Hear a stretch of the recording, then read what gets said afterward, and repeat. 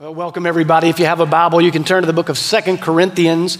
We're going to be in chapters 11 and 12 in just a few minutes. But before we get there, we might as well go ahead and get, get this out of the way and take care of business. I don't know what you were doing last week, but this is what I was doing. I was welcoming our very first grandbaby into the world. Indeed, indeed. Uh, this, is, this is baby Virginia Merritt. I got another little picture of her. Uh, this is her. I mean, look at that. My goodness. We could just do this for the next 30 minutes. It would be awesome. Let's just admire her. Virginia Merritt weighed seven pounds, three ounces, born on Monday. And man, we are just so excited about that. Now, I need you to join me in praying. My son in law get a job in Jackson, Mississippi, so I can have her all the time. That's my prayer right now. Um, but do you just look at that face? Do you think there's ever going to be a time when I tell her no? Not a chance. That's what parents are for. Grandparents are not for saying no. But if, if she's with me and she asks me for something that's really, you know, not in her best interest, maybe she wants sugar right before bedtime, you know, or right before a meal. Or maybe she says, you know, Doc, can I go play out in the street? Or can I play by the open fire pit? I, I probably would tell her no. If she said, Doc, I want to watch a really scary movie, I'm for sure going to tell her no right? Now, now the question is if I have to tell this precious angel no, does that mean I don't love her? Does it make me a bad man? Do, do you think she's always going to understand why Doc sometimes has to say no? You think she's always going to understand? Probably not. Any chance y'all think she might get mad at me and pout a little bit about it? Probably so. But does it change the fact that I love her like crazy? Absolutely not. I love this little ball of love already, right? Now, the question becomes for you and for me have you ever thought that God looks at you the way I look at her?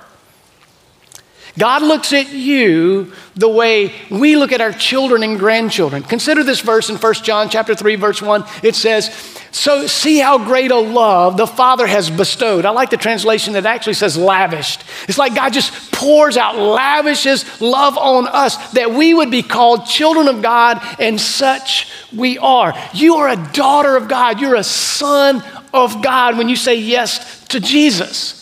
And do you think your father now knows how to give you good things? You know he does. Matthew 7 11 says like this If you then, being evil, that's us, if we know how to give good gifts to our children, how much more will your Father in heaven, who's not evil, how much will your Father in heaven, who is heaven, give what is, everybody say that next word? Good. Your Father in heaven will give what is good to those who ask Him. God loves to give good things. And so many times we celebrate when God says yes to our prayers and yes to our, our requests of Him, and, and we see God move, and it's amazing. But do you ever think God is going to tell you no? Some problem you won't solve, some pain you want to go away, some person you want healed or transformed. Is there a potential that the God who loves you would tell you no? And if he tells you no, does it mean that he doesn't love you? If, if he tells you no, does that mean that God's now bad? Does it mean that you you always are going to understand why he says no? And is it possible that you might pout or get mad at God and, and call him bad names? And if you pout and get mad at God and call him bad names, do you think it changes the way he loves you? Not a chance. That's really what I want to talk with you about today is learning to trust God in the no because God sometimes says no. He says no to a lot of people in the Bible. Moses asked God, Can I go into the promised land? And God said, No, I'm sorry, you can't. David asked God to heal his infant son and later on asked God to be able to build a temple for God. And God said, No and no. I'm thinking about Shadrach, Meshach, and Abednego who were told, If you don't bow down and worship this idol, you're going into the fiery furnace. And they wouldn't bow down. Do you think they asked God to spare them from the fiery furnace? Absolutely. And and God said, No, I'm sorry, you're going to have to go into it, but you're going to go through it. I think about a man who had a legion of demons who met Jesus in a graveyard one day naked and out of his mind. And whenever Jesus healed him in an instant with the word, because he is God among us, that man asked Jesus, Can I go with you now? And Jesus said, I'm sorry, but no, you cannot. I think about Jesus himself, who heard the Father say to him in the Garden of Gethsemane when Jesus is praying desperately to the Father, If there's any way, please let this cup of wrath, this cup of suffering pass from me. And the Father said, No. At one time or another, God's going to tell all of us, No. So often you may hear, even in church, that if you'll just have faith, you can have anything you want. And sometimes you do need to have faith to see God move. But I want you to hear, I believe it takes just as much faith to trust God in the no. Because many times faith is not always getting from God what you want. Sometimes faith is accepting from God what He gives.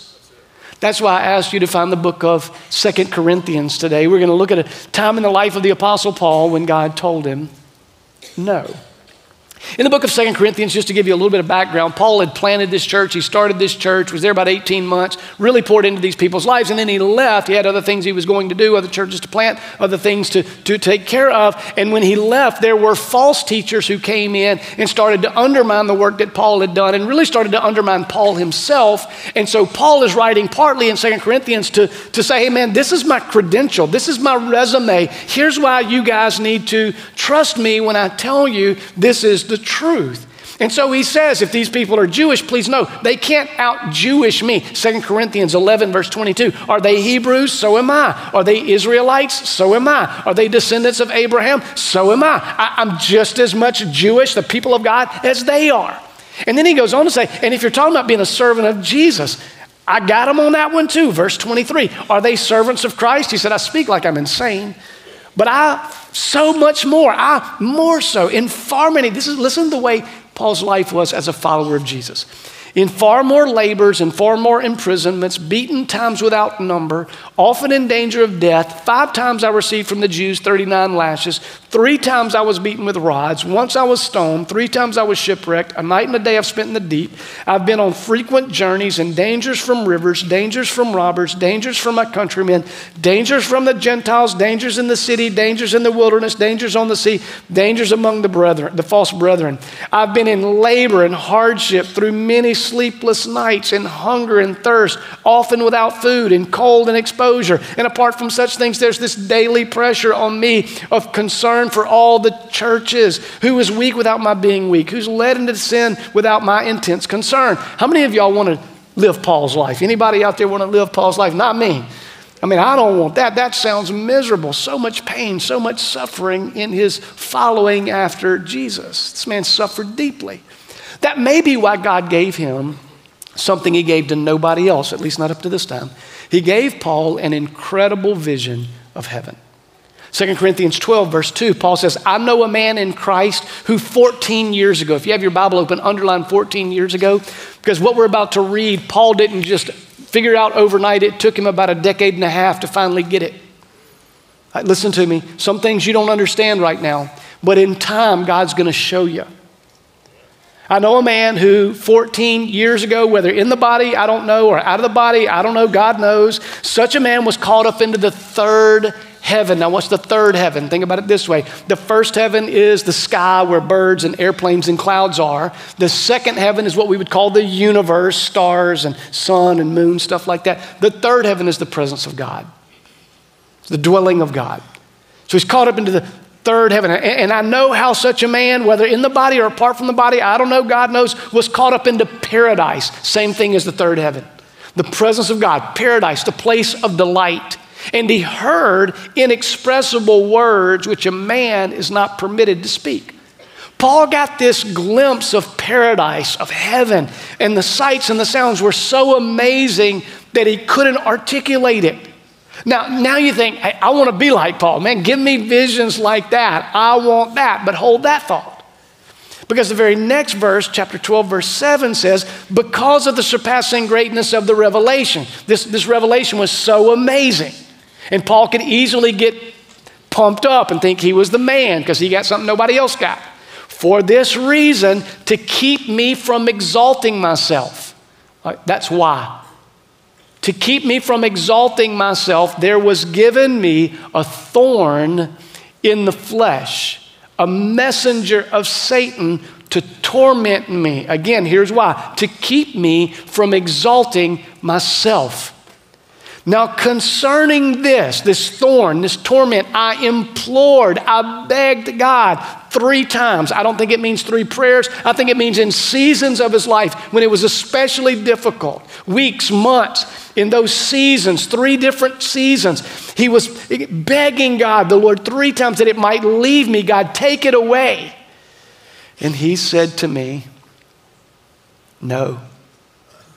Now, the no's not in the text, it's implied because he says, My grace is sufficient for you. For power is perfected in weakness. And so Paul then writes, Most gladly, therefore, I'll boast about my weaknesses so that the power of Christ may dwell in me. Therefore, I'm well content, actually, with weaknesses, insults, distresses, and persecutions and difficulties for Christ's sake. For when I'm weak, that's when I'm strong. Paul had this thorn, this place of pain in his life. And he says it tormented him. The picture is of somebody just beating you down with a bare fist, beat, giving you a beat down regularly, knocking the life out of you. It torments him. He also calls it a messenger of Satan, someone or something straight from the pit of hell. Now, how could God allow that for one of his children? Well, maybe, maybe it would help you, as R.C.H. Lenski says in his commentary on this passage. He says, think about Job. I don't know if y'all remember the story of Job. Job's a righteous man, blameless, a very upright man. And in heaven, there's a conversation between God and the devil about Job. And the devil is saying to God about Job, that man only serves you because you bless him so much. And God says, no, that man just loves me for me, not for what I do for him. And the devil says, Well, let me have my way with him and we'll see. And so God allows hard things to happen in Job's life through the devil's hands because God is convinced that Job's faith can handle it.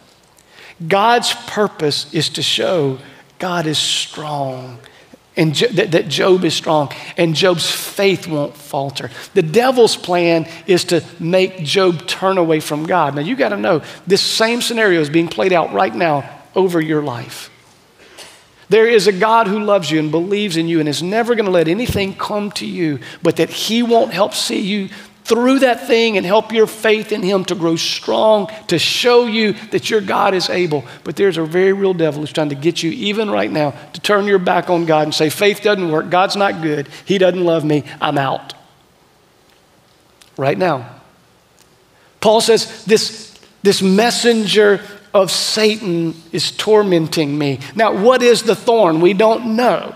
I made a list of some of the best and worst guesses that, that people have. Um, some people say that thorn in the flesh was blasphemous thoughts, that Paul would just have these random crazy thoughts. Any of y'all ever have random crazy thoughts? I know I do. You're like, where does that, where is that coming from? No, no, no, no. Let me erase that out of my mind. But it sometimes can happen, can it? Some people say it was a seared conscience, a wounded conscience. He felt guilty.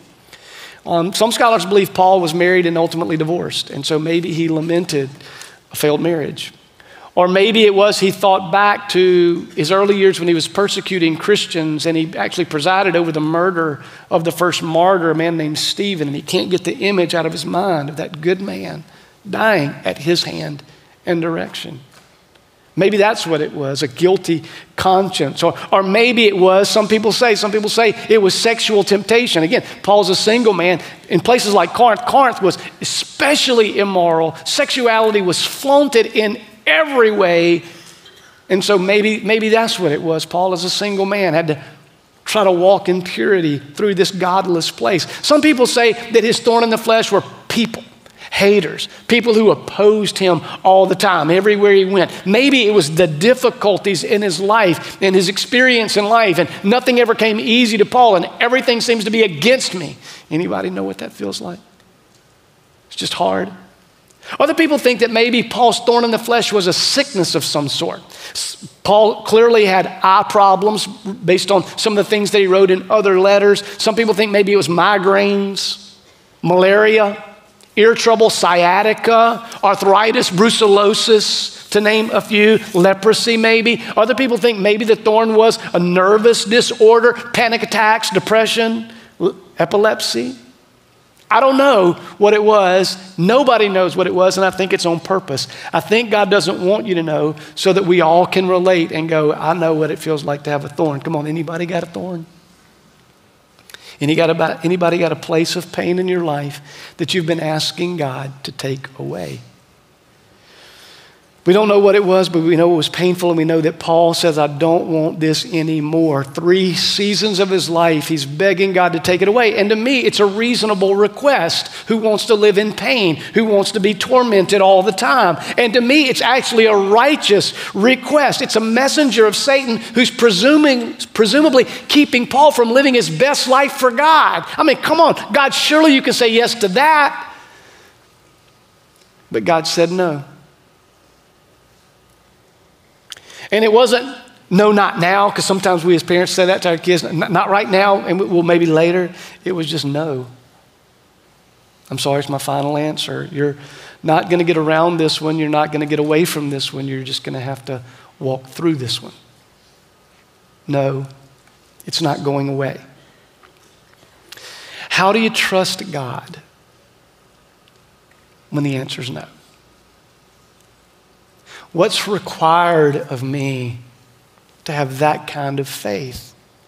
Well, as I've looked at the scripture and tried to meditate on what, what was it in Paul's faith in God that let him keep going even when God didn't give him what he wanted. Now, please hear me. Paul's got tremendous faith. Paul had seen dead people raised to life again. It's not a matter of does Paul have faith. This is not about Paul at all. It's about God and God's goodness. And would Paul trust that? Even when God didn't seem good. What's required of you to walk that road? Well, I think there are three requirements. The first one is this you're, you're going to be required to believe God has a higher and better purpose. You may not understand what's going on or why, but you got to believe God has a higher and a better purpose that I can't see. Sometimes we know why God said no, sometimes it's a consequence of sin. Okay, so Moses couldn't go in the promised land because he sinned. David didn't get to build the temple because he was a man of bloodshed. Sometimes God will, God will always forgive the guilt of your sin, but sometimes you still have to walk through the consequences of the dumb decisions you made. And God's not bad, He's not mad, He's not mean. It's just He'll love you through it. Sometimes we ask with wrong motives. James 4 says we just want selfish stuff, and God's like, I'm not interested in that. Sometimes it's not time yet. John 9 tells about a man who was born blind, blind for 40 years. You know his parents took him to church, prayed over him, had the elders cast out demons, anoint him with oil, all that stuff. Nothing ever worked until it was the time. But sometimes God says no because he has a higher purpose. No, Shadrach, Meshach, and Abednego, I'm not going to spare you from the fire. I'm actually going to walk you through the fire so that king knows who's really in charge. And all these people, thousands of years later, will have a faith in a God who can see them through anything. He said no to the Gerasene demoniac, that man who had a, a legion of demons cast out of him. He says, No, you're going to go back. You're going to have to go back to your own home because that's where you hurt people. And you abandoned them. And, and that man, that man went back and he led 10 cities to faith in Christ because of the power of his testimony. That was better than going with Jesus.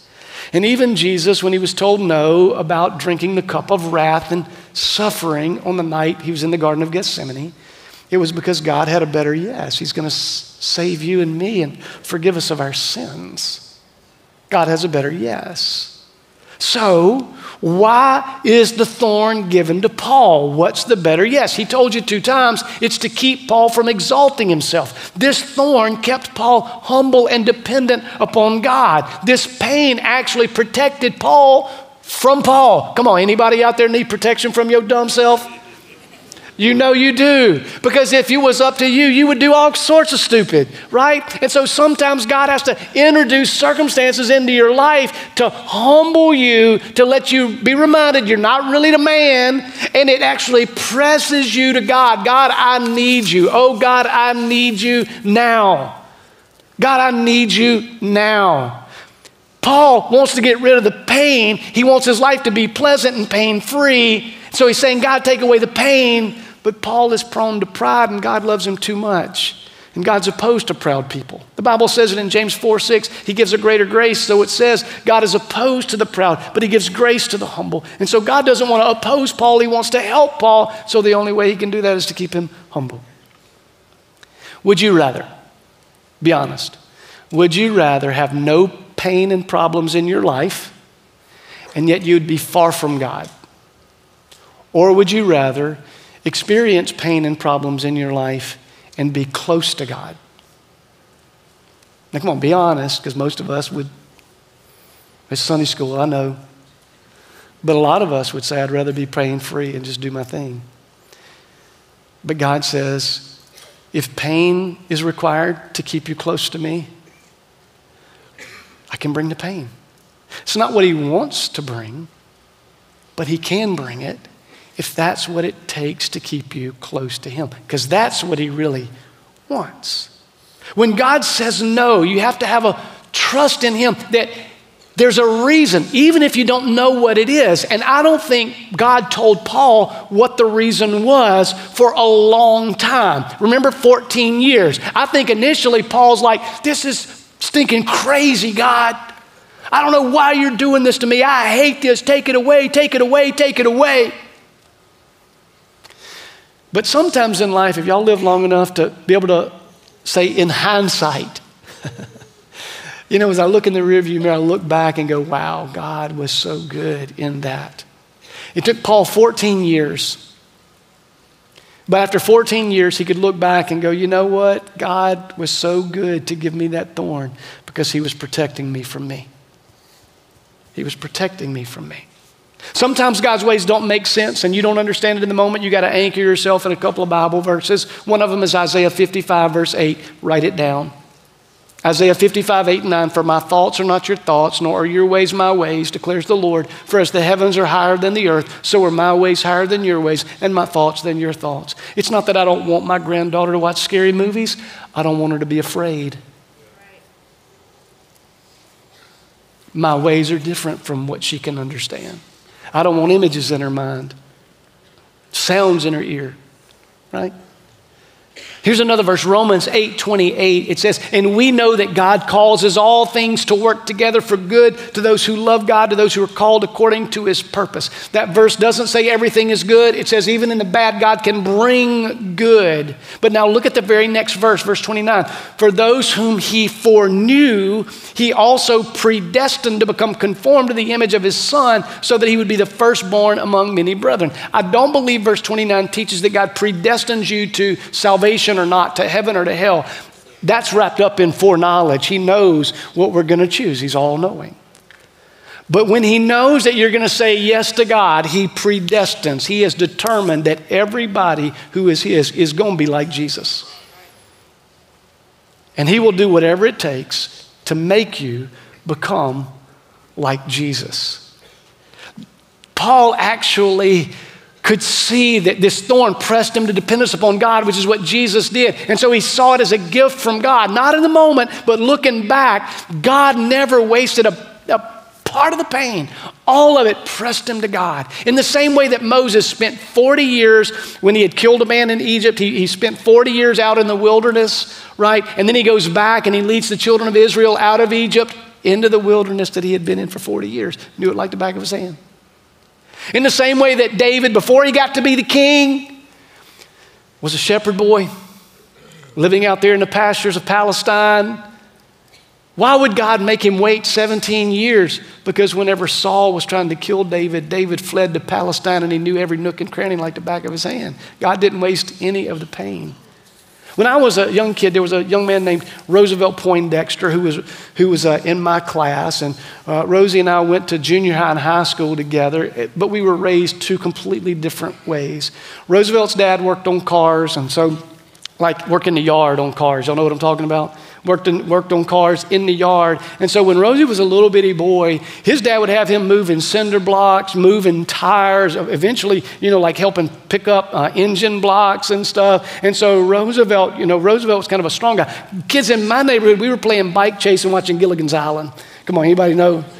That, that was kind of the way we were, we were raised up. I, I, was, I was raised up. If I wanted to lift weights, I used these weights that you put concrete in. Did anybody remember those weights you put concrete in? Come on, you get swole with those, right? But, but you never knew if they were the same exact weight. And so, you know, your right arm was bigger than your left and you had to swap it over, whatever. Roosevelt wasn't lifting that stuff. He was doing curls with, with car axles. I mean, this guy's just, he's massive. When we got to the ninth grade, I weighed 110 pounds. Roosevelt Poindexter weighed 220 pounds. He had a full beard, hair under his arm, and I think he was already going bald. I'm not sure. But what I'm trying to say to you is Roosevelt Poindexter was a grown man, and when you put him on the defensive end, he could handle all of us little kids because his upbringing prepared him for the moment. I, am trying to, I'm trying to make a point to say to you there's nothing that God wastes. There's nothing that God wastes. And so if you're in it, please know God's got a purpose for it. You don't know what that is yet. It doesn't make sense to you. You keep asking God why and telling God please. But today, God's saying to you, Would you Trust me that my ways are higher than yours and they're better than yours. Can I ask you, are you moving toward that? Or are you still stuck at, God, I don't like it? Today, just start taking your step. God, help me to trust you. Help me to trust you more. Here's the second thing it's going to require it's going to require you to lean on God's grace to make it through. Paul's problem is not say, solved by God taking away the pain. Paul's problem is solved by God adding something, and he adds his grace. You're going to have to learn to lean on God's grace to make it through. Paul says, whenever I was weak, I could call on God and He would give me the strength that I need. Look back at verse 9. He said to me, My grace is sufficient for you, for power is perfected in weakness. So Paul says, Most gladly, therefore, I would rather boast about my weaknesses so that the power of Christ might dwell in me. A better translation actually would be that the power of Christ might dwell on me. First of all, can I just say about this verse? I think it's amazing that Paul stops to listen for God. Because most of us, whenever we pray, we, we, act, we act like we're ordering at McDonald's. God, I want this and I want that and I want you to take that off and I don't want that now, add a little extra this. That's the way we talk to God. And please hear me prayer is partly communicating what you desire to God, but that's half of prayer. The other half is you shutting your mouth and opening your heart to listen with a surrendered faith. God, what do you want? And God talked to him. God talked to him. And the first word God spoke to him was sufficient. Now, in our English translations, we try to make it make sense. My grace was sufficient for you. The first word in the Greek text is sufficient, enough. Enough. More than enough. Adequate supply for you will be my grace. My undeserved favor, because all of us are sinners and none of us deserve God's goodness and kindness, but because of God's grace, His sufficient grace that grace would include forgiveness. But it also, please hear me, it includes peace. It also includes comfort and support and strength and assurance and hope and joy. Paul, God says to Paul, Jesus says to him, Sufficient will be my grace, my provision. This grace is going to be stronger than your thorn and mightier than the messenger. This grace is going to support you and protect you. And every time you're attacked, I'm going to protect you and see you through. This all sufficient grace, all the way to the end, grace from God kept Paul from ever having to do things on his own. And as a consequence, listen to me, he endured what he didn't think he could endure. He was able to perform things he never thought he could perform. Why? Not because Paul was the man, but because he knew God's grace was his. And in that way, the thorn actually is a gift because the thorn kept him humble. And when he was humble, God made him strong. You ever experienced God sustain you like that? I have. I've been honest with you guys over the last few years, particularly just about my life journey and the highs and lows of that. And it's not always been easy. And so, whether it's walking a road of depression, or whether it is parting ways with some dear friends, or whether it's been leading in times of hardship or crisis when I didn't know what I was doing, let alone how to tell you what to do, There have been times when I've wanted to quit. There have been times when I've cried and cried out to God and said, God, I can't do this. I don't want to do this anymore. And yet, my testimony is God has always said, sufficient for you will be my grace. Whatever I've needed, He's always supplied it. He didn't take away, He added. He didn't say yes. I'm sorry, the answer's still no, but I'm going to be right there with you. I don't ever want to do it again. But I can look back and say, God, you've been faithful.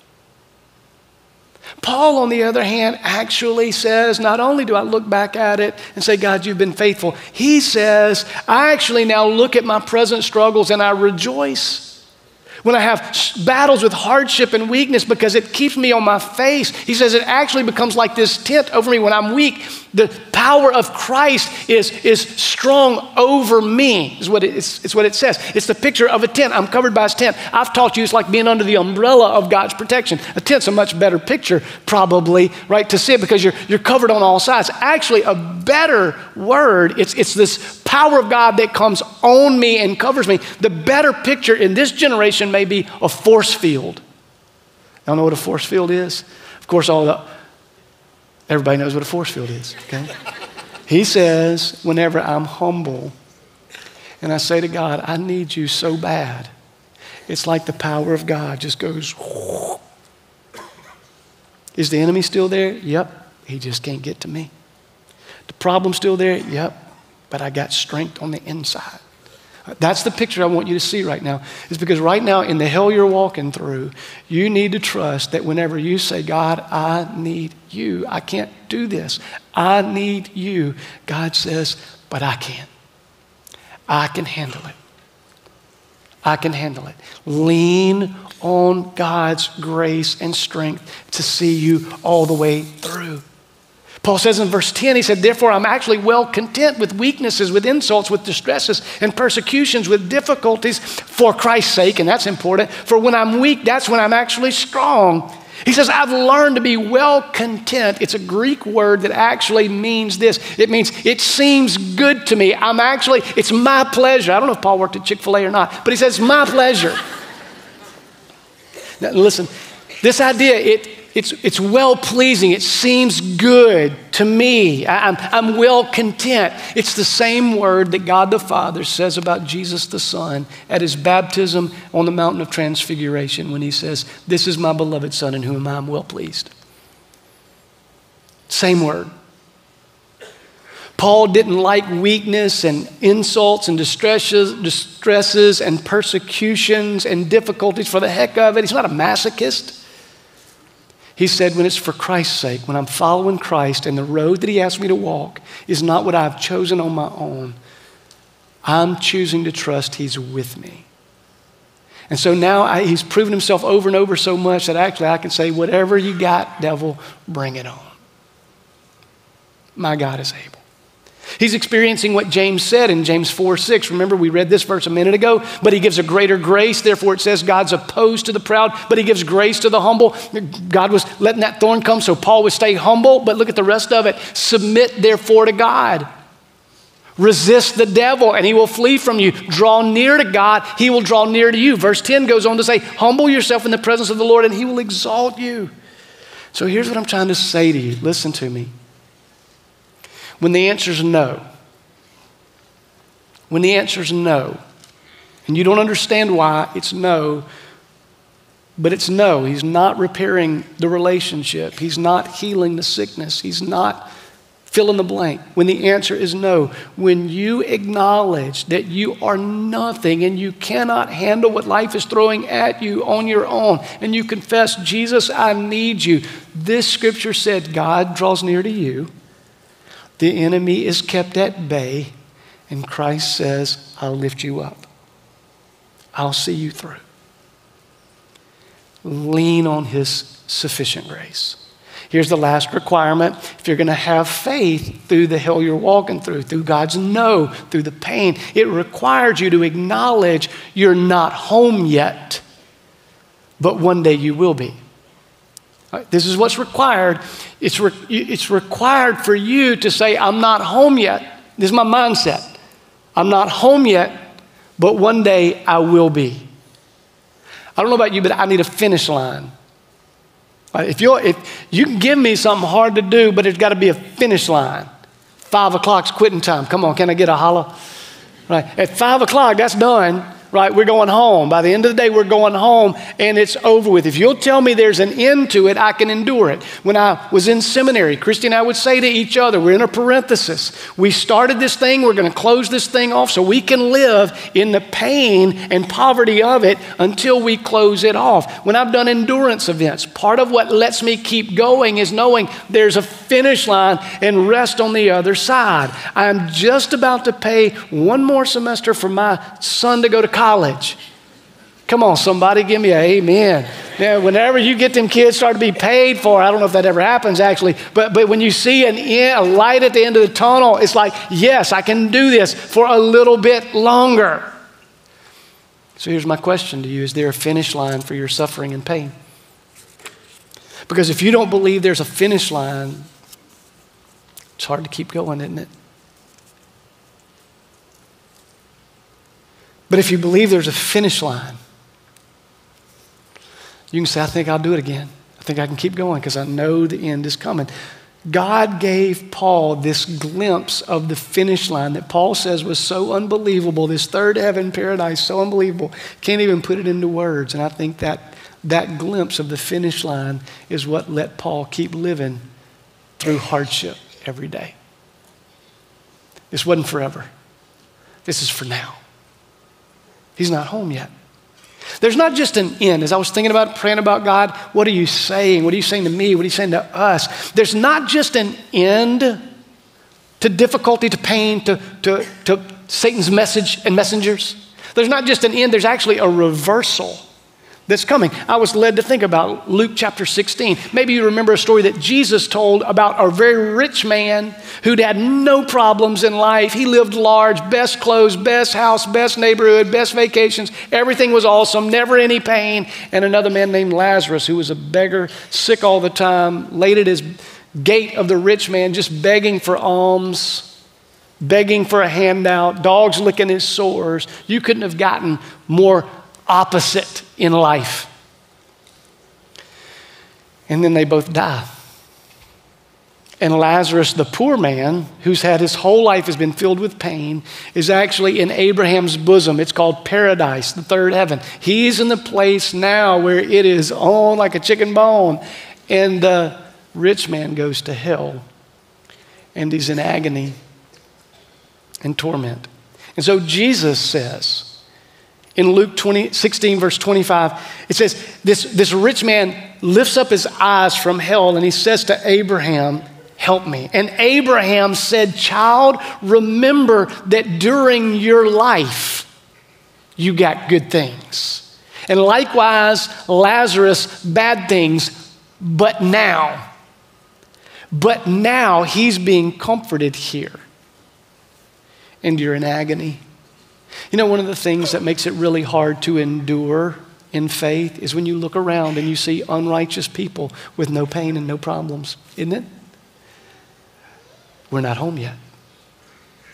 The Apostle John got a glimpse of heaven too, and yet he could articulate it for us. If you're in the midst of it right now, would you just think about this finish line that's one day coming? Revelation 21, verse 1.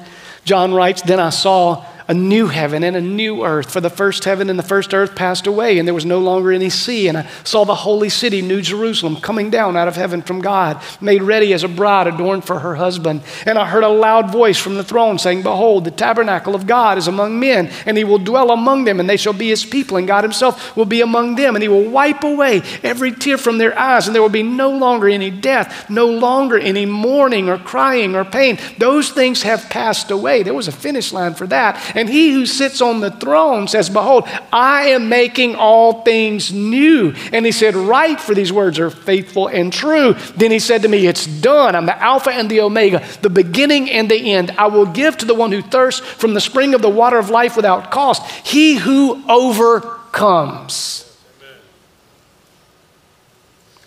He who stays in faith when life is hard. He who overcomes will inherit these things, and I will be his God, and he will be my son. Sometimes, in the middle of your pain and the pressure and the problems of this broken world that feels so overwhelming and discouraging, you need to remember miracle faith too. God's coming one day. He's going to make all things right and new, and His goodness is going to consume all things. Jesus said in John 14, Don't let your heart be troubled. Believe in God. Believe also in me. In my Father's house are many dwelling places. If it weren't so, I would have told you so. But I go and prepare a place for you. And if I go and prepare a place for you, I'm going to come again and receive you to be with me, that where I am, there you may be also. That's when you'll be home. That's when you'll be home. But for now, will you just say, I'm not home yet, but I will be? Can I take us back to where we started? I could look at that all day, couldn't y'all? What's up, baby girl? She's watching right now in Dallas, Texas. She is beautiful and amazing, and I love her, but she's got a problem. She's selfish.